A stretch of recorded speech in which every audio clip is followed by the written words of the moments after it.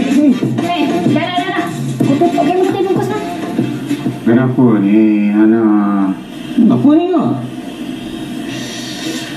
Alhamdulillah, terima kasih Pak Suri. Hmm. Badan saya, kaki saya, tangan saya dah sihat dah.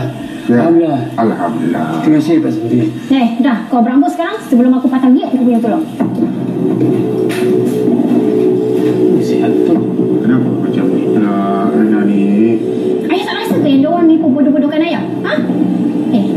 Ni cuma nak raih dia punya pengikut untuk keuntungan diorang je.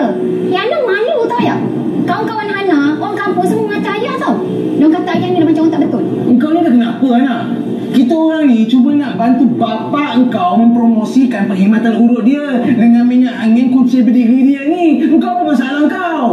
Eh, aku ni dah kerja tau. Setakat bapak aku ni makan, aku mampu lah. Makan minum je. Eh, Pak Sam ni nak juga duit lebih. Eh, dia nak juga merasa pergi umrah, buat haji ke, nak pergi melancong. Takkan nak terperuk je kat kampung ni. Setakat gaji kau boleh ke bawa dia pergi Mekah? Ha? Kau cakap, cuba fikir sikit. Ha, ni, kau fikir baik-baik nak.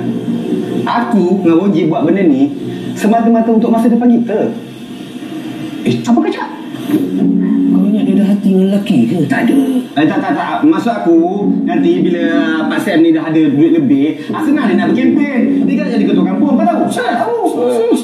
Ah, anak ada betul juga apa yang dia cakap ni. Ah, ah, ayah sebenarnya bersyukur sangat bila ada budak-budak kampung ni yang ada wawasan macam ni yang nak meningkatkan ekonomi orang-orang kampung ah, menaik tarafkan ah, perniagaan orang-orang kampung ni takkan itu pun jadi salah Baiklah. Kalau itu yang ayah nak sangat kan. Lepas ni anak takkan masa campur dalam urusan ayah ni. Korang berdua, korang dengar eh.